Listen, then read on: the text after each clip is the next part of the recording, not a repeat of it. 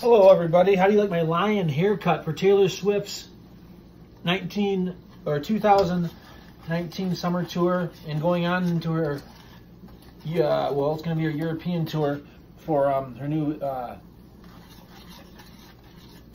album, Lover.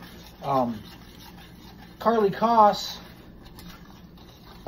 famous model, um, posted how she was making her family secret family recipe of toffee. Um, as you guys might remember, I made maple syrup. Maple, maple uh, when you make maple syrup, you can also make um, uh, candy maple syrup. Uh, you can use a thermometer. Uh, however, um, since it's Karlie Kloss's secret recipe, I don't have the exact ingredients, so I'm, I'm using motivation from her to make this for fun in my grandma's house here in Traverse City, Michigan, where she has lived, where she lived for 50 years, and you know, in my grandma's pot right here.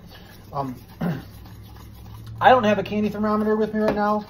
Uh, about 285 degrees is what you need to make candy. Um, like I said before, though, however, you can, if you have experience, you can kind of watch the um, melted butter and sugar, and you can kind of tell when you need to